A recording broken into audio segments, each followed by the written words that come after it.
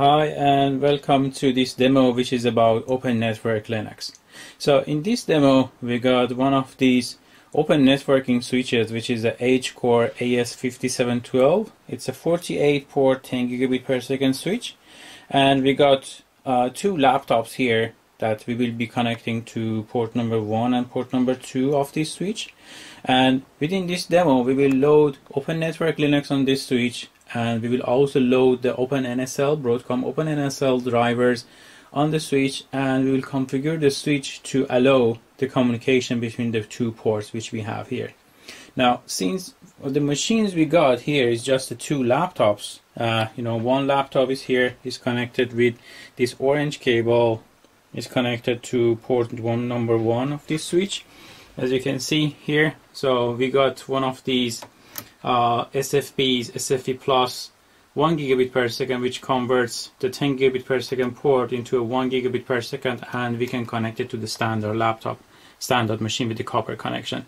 So this switch has as you can see it has 48 ports and here I got one uh, 10 gigabit per second fiber SFP and it has 6 40 gigabit per second uh, as well QSFPs here uh, we got two more ports here. With one of them here is the standard console, uh, the RS232 or the serial port console, which I have connected through the the USB to serial uh, converter, and is connected to our test machine here. And we will also uh, use the management interface. This is the dedicated out-of-band management interface of the switch, which we will be using it for uh, uploading the ONL inside the switch. So I will connect this uh, brown color cable here and I will use this cable for doing the communication. Uh, so we got this laptop. This laptop will be used for our main test. And this is the small diagram we got here. So we got 10.001, which is the laptop. Here we got on this side, as you can see, the IP configuration that 10.001 is configured on this ThinkPad laptop and we got the other one which is 10.003 which will be this machine once we finish the configuration once we finish loading the open network linux on on the switch itself. So what we are going to do is uh, in this demo we will download the open network linux. After downloading the open network linux we will install the open network linux on this switch which is AS5712 uh, we will boot up the switch uh, assign the management IPs and we have to copy the OpenNSL on the switch itself. So this OpenNSL is a piece of software which is uh, given by the manufacturer. So it's it's a Broadcom software, but it has been provided by the OEM vendor. So in this case, the Edgecore has provided this OpenNSL software to me. And once that is done, we load the the OpenNSL. We will launch the OpenNSL and we will do the basic configuration to create a basic layer 2 configuration between between the two ports in this switch. So that's what we are going to achieve. I can power up this switch. I will turn off most of the fans of this switch just to make sure it doesn't make that much noise but still it will be a little bit noisy. So in the beginning you know this is the during the startup of the switch and let's connect towards we connect to the console of the switch to see what exactly is going on and what is required to load Open Network Linux on this switch. And for those of you who are uh, looking, considering why this the yellow cable is, so in the beginning, once we start loading the uh, the Open Network on the switch, I will use this brown cable which is connected to the out-of-band management of the switch. We will use this cable on this laptop to load Open Network Linux. And once that is done, we will disconnect this cable and we will connect the, the yellow cable to this laptop. So you will not be able to see at that time when I'm doing this, this piece of work. And this yellow cable is connected to port number two on this switch. So the laptop, the two laptops, the ThinkPad and this box, the, the other laptop, they will be are connected to the two ports of the switch. And in this demo we'll load, we load the Open Network Linux, OpenNSL and we allow the communication between these two ports. Alright, so as you've seen, uh, the physical setup now we are uh, looking at our drawing again. So uh, we got a management PC which is this machine which you see here uh, we will use this machine to provision this uh, the bare metal switch and loading the open network linux on it. So the management pc it has uh, it got the dhcp server which uh, which uses the dnsmasq and it got the ftp server as well which i'm using a, a very lightweight python based uh, ftp server on this machine. And we are connected through the console the the usb to serial connector uh, connected to the serial port of the switch.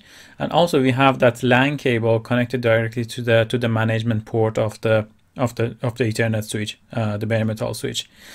Uh, so that's that brown cable which I was showing you earlier. Uh, this, this, machine got a static IP on this interface the 192.168.3.1 and we will use this um, interface for loading the Open Network Linux now, to start with, we will go to the Open Network website. We download the Open Network Linux from there, and we will start the installation uh, on the bare metal switch after that. So let's go to the Open Network Linux website, which is opennetlinux.org. Uh, from here, we can just jump into the download, the binaries download here. Uh, once you come to the binaries download, there are lots of options here uh, which I choose the latest version, which is 2018 619. Um, and here also again we got something some other different installers. So as you see here, are main differences. We got ARM64, we got AMD 64s, and we got PowerPC. Uh, and we got also Debian 9 and Debian 8. Uh, so in our so this uh, these are the diff the differences the architecture of the CPUs of the uh, of the bare metal switches. So they are different. So some of the bare metal switches they come with a CPU board based on an Intel processor or they may come based on you know some kind of power PC processor or just the ARM processor. So you have different option of the of the processor. So the open network Linux has been compiled for different type of operating uh, different type of CPUs and based on the architecture of the processor and the CPU board you need to install you need to download the correct version. So in our case uh, the switch which I got here is that Edgecore AS5712 and I know it is using an Intel based uh, processor. So I use the Debian version 8 which uh, we got here and I use the installed installer. The other ones is SWI installer. They are used for generating the SWI, the, the base core image, which we don't need to do that here. So I just click here and I start downloading this, uh, the Debian 8 AMD64 installed installer file. So let's give it some time. Uh, this is around, uh, I think it should be around uh, half a gigabyte something. Let it get some time to get it downloaded. All right so now we can see the download is over.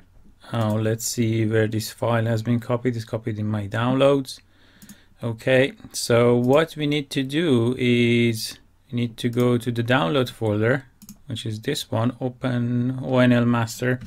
I'm copying this file to we got a folder here which is for the FTP, the FTP users, and I copy this file here. Now you see I have another file also in my FTP directory here, which is OpenNSL, OpenNSL Accton 350. It's a Debian package. This file is it's a binary drivers of the Broadcom chipset within the switch. So I have got I got this file from uh, from the Edgecore. Uh, so this file is supplied by them uh, by the manufacturer of the switch and which is compatible with this version of the Open Network Linux. So once we install the Open Network Linux, I will also install this Debian package, which enables the CPU board of the of the white box switch of the bare metal switch to, in order to communicate, be able to communicate with the Broadcom chipset inside the switch. So there is a PCI uh, express connection between the CPU board and uh, the switch silicon, which this file, this the drivers inside this file allows uh, that communication. Okay, so we got this file here now. Let's get uh, terminal. Um, let's go to the uh, FTP folder. So it's home FTP user, and here is our file name. Uh, let me copy this file, and I just create my installation script. So once the switch starts, uh, we will we will use this command to uh, load the uh, to tell the switch that we need to we need you to go and do the FTP to this machine, which is the exactly the same machine. I have the FTP server running on port 2121, and just download this particular file which we just downloaded. So now, in order to do this, uh, I need to go and turn on the switch. Uh, it may be a little bit noisy, and once we turn on the switch uh, let me uh, we just need to make a console connection to the switch where we will use the uh, well-known PuTTY command to connect to the to the console uh, so for connecting to the PuTTY, uh, using the PuTTY to connect to the to the switch, we use the PuTTY. We call the USB uh, the TTY USB zero, and we call it with these with the baud rate uh, 115200, uh, 8 bits, uh, N1, and no uh, hardware flow flow control uh, for this command. we paste it here, and now let me power on the switch and after that we should be able to see the output here. Uh, it will be a little bit noisy also. Okay, so now we got the switch powered on. This is the initial BIOS of the output of this of the switch. Now we got a small little grub grub menu. So by default it goes to ONIE to install the operating system. So ONIE is the uh, open network install environment where it loads a small kernel uh, Linux kernel which brings up the switch. It manage it, it it brings up the management interface. It tries it gives the environment for installation of the operating system on the switch. Uh, now as you can see here mm, the switch here it brings up Ethernet 0 which is that management interface with this. Uh, I tried the DHCP on this management interface and it got the IP address also from the uh, from the DHCP server where we are running on this machine. So 192.163.119 is the IP address of the switch. Uh, so by default, it tries to do a TFTP, you know, trying to look into the folder based on the MAC address of the switch, try to get the ONIE installer by default, which is not there. Uh, we don't have any TFTP server running. So what I'm going to do is I'm going to tell the switch that, hey, uh, this is the install URL that, you know, we have to go. So FTP to our server on port 2121 and download this file and install it so let me copy this file this command now here I have the ONIE command and let me see why I cannot paste here okay. Install URL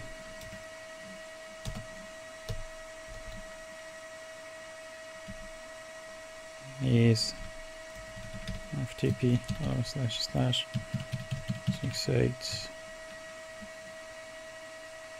Two one one dot one one three. Column twenty one twenty one slash. You can do a very quick. Uh, change here. That lets me rename this file. Instead of this big file just I call it YNL yep. So this makes it much easier. Uh, ONL okay. Connecting to the server. Fetching ONL so it looks like let's see is it really downloading or not this is our FTP server which is running on port number 2121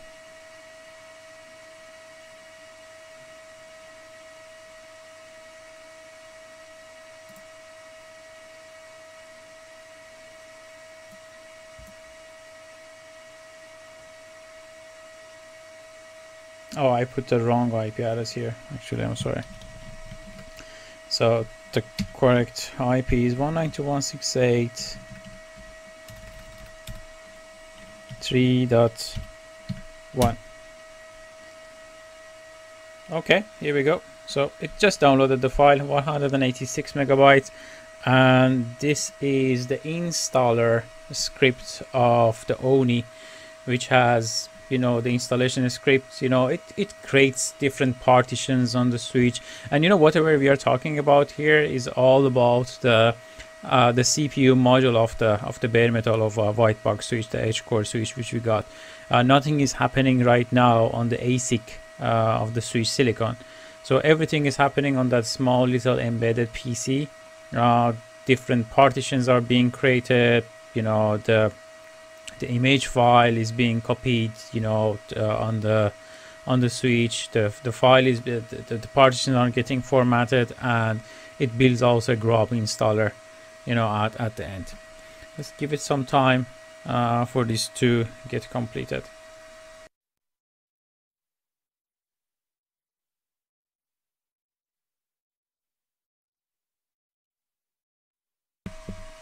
Okay as you can see the installation is complete. Now the switch is doing a restart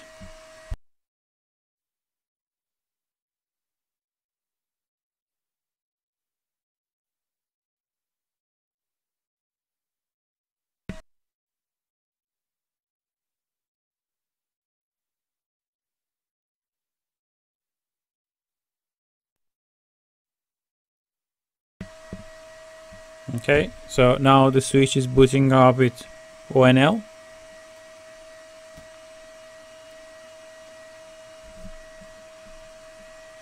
here you could see that you know the MA1 net dev has been installed is enabled. So MA1 is a management interface that same out of band management interface of the switch is the same interface which we use for loading the the, the, the switch operating system, the ONL operating system inside inside the switch.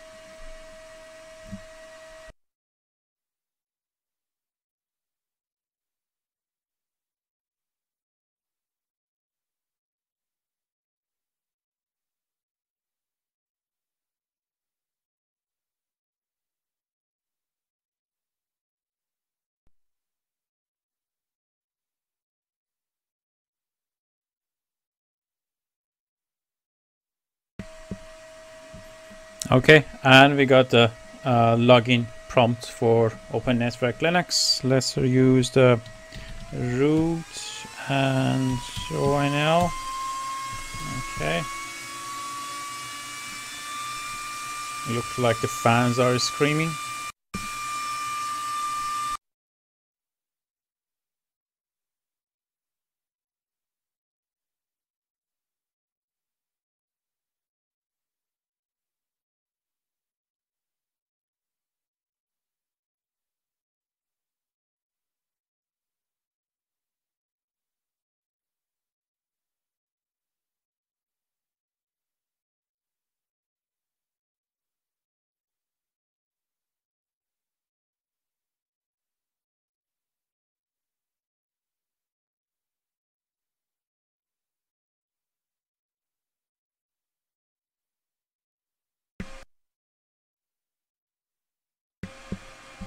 Okay, so now if I do a uname dash a, you can see it's a it's a Linux kernel 4.14. Open Network Linux uh, is running in this machine. Open Network Linux it has so the mm, the interface is just root Linux. It's Debian Linux, and it got some commands also like ONL. Uh, ONLPD uh, ONLP dump. So ONLP dump it provides a full dump of the of the switch. Let's say if I run this command it gives all the details about the the switch information. So these are the information which ONL has read from different uh, different chipsets inside the switch. So that uh, uh, the CPU board it has an I2C connection to to the to the board and these are the information which the, the ONL is able to read so for example manufacturer is Accton you know the product this is a AS5712 54 port uh, switch running on this, the ONIE version and, and the other stuff. So for example, the next one is the power supply. So power supply one, you know, it doesn't have any model information. Uh, it is present uh, as there, but it's not connected to the power. So that's why it's not showing any details.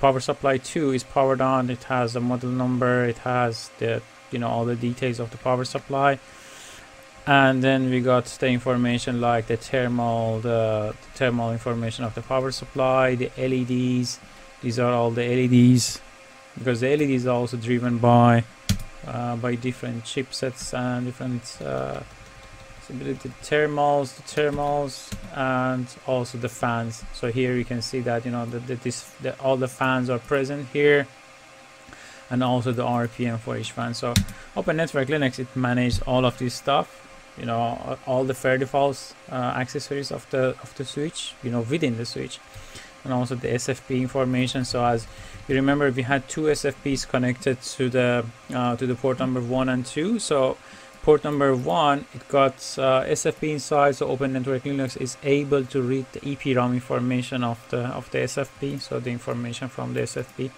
plus is uh, is here. And the other ports are all empty. And if you remember I had one small little uh, 10 gigabit per second fiber uh, multi-mode SFP also on port number 46 which is showing here. And there we go. Alright so now the next thing for us to do is uh, we have to set up the management interface. So let's do a ifconfig so as, as you can see uh, we got only one management MA1 interface on this switch. So MA1 is the management interface, that out-of-band management interface, which is now presented to Open Network Linux.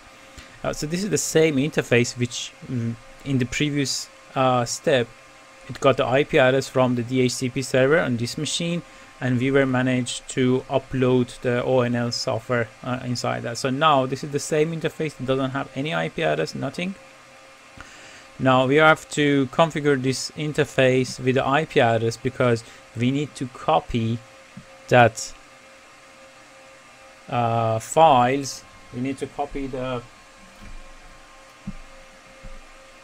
we need to copy the files, uh, the OpenNSL files inside this box. So let's go ahead and add the IP address. So I'm assigning 192.168.3.10 on this device. Again, I have to MA1 9net 192.168.3.10 slash 24. We'll do a if config and okay, the IP address is there. Let me try to ping uh, my machine 192.168.3.1 Yep, so we have established the connectivity. All right, that's fine. And the next step is we will copy the file, that file which I was showing you. Let me go back to our terminal here. We got the OpenNSL Accton, this Debian, uh, this uh, this deb file. So this is the driver, the OpenNSL driver, which I'm planning to copy on the on the switch, and I have to install it in order to enable the communication between OpenNSL, between the Open Network Linux and the OpenNSL, the, the, the chipset driver. So OpenNSL is just the SDK library from Broadcom, which enables communication with the ASIC of the switch, the switch silicon itself. So from here, I should be able to let's see if we can SSH to the to the to the switch. It's a 192.168 is 3.10. Ah, yeah, it looks like it is running. Let me try to do. And the password was ONL. Yeah, so this is the switch itself. So, all right. So now let's copy the OpenNSL uh, installer file to the switch. Uh, we can do it with the scp command. So scp OpenNSL to root at 192.168.3.10 slash root and the password is onl okay the file look like it's copied already uh, we have SSH access also to the switch now but uh, we can use still the, the console. Uh, okay so here we go. The, the file is here. Now we need to install this package on the switch. We use the dpkg dash dash install. OpenNSL so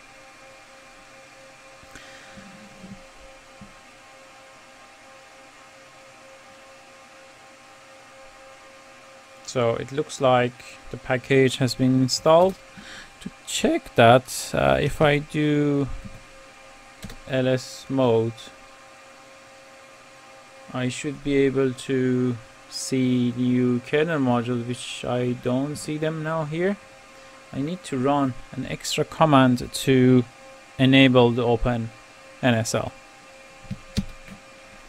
Yeah, I need to run the open NSL setup and there we go. So now we got two new actually three uh, kernel modules. Uh, the Broadcom KNet user BDE kernel BDE these are the modules which has been installed by this Debian package inside our uh, inside the switch and these are the drivers uh, the, the, kernel modules which are using which are communicating to the drivers in order to to reach to the switch. Now in next step we should be able to start running the the OpenNSL uh, some of the examples of OpenNSLs in order to uh, start communicating with the uh, with the switch silicon all right so now let's start uh, running the OpenNSL so there is a folder called slash user and if I'm not mistaken is bean OpenNSL dash accton examples. So we go in this folder uh, here we got some few examples here uh, so by the way, let's have a look at the OpenNSL Accton. So here uh, we have we have only the examples for there. Uh, the other files like the binaries and the drivers, they are all installed in different locations. Uh, now here I will run the example L2 firewall because it creates a layer 2 switch uh, it programs the ASIC to become like a layer 2 switch and also it allows us to create some kind of firewall between the ports. So I use this example. So I'm gonna run the example. Let me do it clear before that so because it generates lots of outputs it's better we see. Uh, example L2 firewall okay?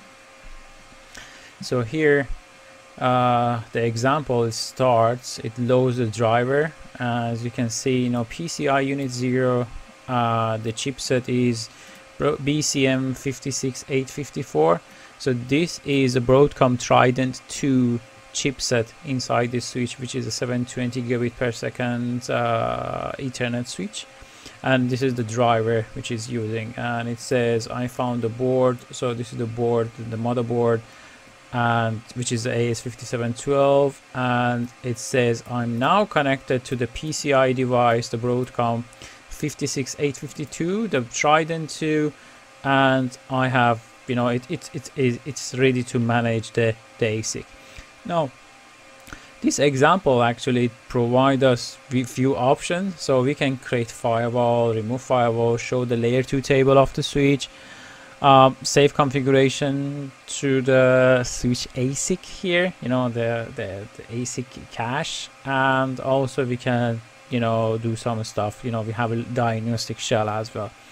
So if I go to port uh, the number three, because I have the first laptop connected to the to the device, I'm expecting that should be enabled, but you know, we don't see anything, right?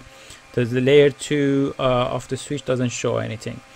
So I'm guessing that that's reason for those SFPs which we have inserted and I know that you know that port is not showing up. So we will use the launching the diagnostic shell port option number 9 okay. So now as you can see we get to a shell called drive shell. Uh, we can do a help here so these are all the commands which are directly talking to the switch ASIC so we can use these commands to see what's going on on the switch on the ports. So we can get some kind of diagnostic information of, of the ports, for example. So I'm interested in to see uh, what's the problem, what's going on with the ports. Uh, so the port mode and uh, yeah the port stat command will be able to help us. So enter the port stat. So port stat command it shows all the ports on the ASIC which are all of these 10 gig ports. And as you can see the port XE0 and XE1 which are port number 1 and 2 these two ports are both showing down are showing 10 gigabit per second and they are both showing down now to change the status of the port or do the configuration of the port, I can do, I can just say port, uh, port 1. So port 1, uh, these are the information of the port 1. It says uh, it's a 10 gigabit per second, XE0 and all stuff. So now I have to configure this port to become a 1 gigabit per second port. So I will say uh, speed equal to 1000 and medium equal to the medium is currently set as fiber but we know it's a copper interface we have connected to and copper. And we change the speed also right? Yep. So after entering this command uh, if I enter port stats let's see.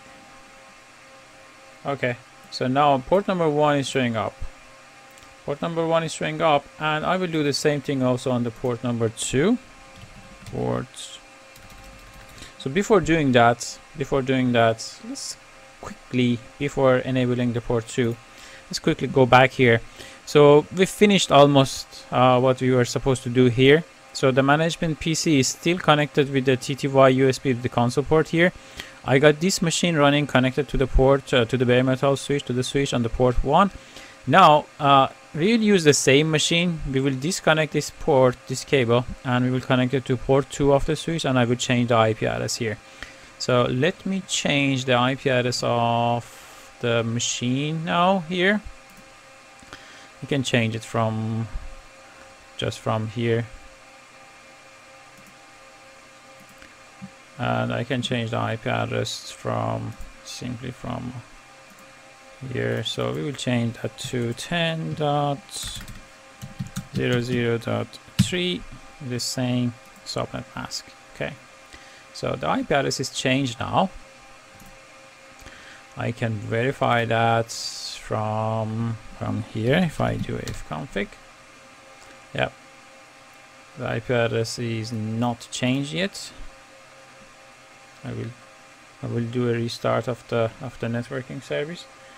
And here uh, so we change this IP I need to change that cable now. Uh, so I will disconnect this cable and we'll connect this back here. And now let me also do let me change the configuration of this port. So we'll say port number 2 speed equal to 1000 and medium equal to copper. Now, since nothing is connected there right now, still it will show down. As you can see, oh now it's showing up, but actually there is nothing connected there right now. Now I will connect the ports, the cables, and we will set up a ping uh, between these two. Okay, so I just swapped the cable and you can see here we got the error, uh, I mean notification here that the management interface is disconnected now. Uh, the reason for that is now this PC, you know, this connection is not there anymore, and you know, this the, the PC actually is connected to um, to the port too. So that's what uh, has been done. Uh, now, on this machine, uh, let's see what's the IP address. So the IP address is 10.0003, and I got the other machine connected to this switch with the IP address 10.00.1. Uh, let's see if we can ping 10.00.1 from here, which is you can see it is pinging, and we can reach to the to the other one. So this means that the switch is now is configured with the basic layer 2 switch uh, function to be able to communicate between these two ports. Now if you go back to our switch silicon, uh, let me quit from here or if you want you can do again the port stat. Uh, it shows that you know both port number 1 and 2 are both up, ports running and let me exit from here uh, quit uh, we are go we are back again this shell so if I do this number three show the layer 2 table now we can see there are two MAC addresses you know here. So port 1 and port 2 there are two MAC addresses and so I believe port number 2 should be the MAC address of this machine which ends with E256 uh, let's have a look what is the MAC address of this machine. Uh, so our interface here yeah it is showing that you know the MAC address is E256 so it's the same so this is how we manage to configure and program the switch silicon uh, inside this bare metal switch using the OpenNSL. So OpenNSL, it it is it's it's like a library and SDK from Broadcom, which you can use it for you know writing different applications on the switch itself. So you can create uh, kind of agent softwares running on top of the Open Network Linux and using the OpenNSL to communicate with the switch uh, with the switch ASIC. So you can uh, you know do the kind of you know traditional kind of switching can create some interface to create VLANs or do the you know modification of the of the switch tables also there is another piece of software from Broadcom which is called OFDPA you can use that agent uh, instead of uh, OpenNSL to directly communicate with the table. So OFDPA normally is used like an OpenFlow agent uh, for the Broadcom switches. And you can use that to connect directly one of these uh, bare metal switches with Broadcom uh, chipset which are if, if they are supported by the manufacturer and you got the drivers and the package you can install the OFDPA and connect directly the uh, the switch to Open Daylight or any other OpenFlow SDN controller. So this was about our demo about Open Network Linux. Uh, it went all the details and uh, please if you have any question please write in the forum or contact me directly. Thank you very much.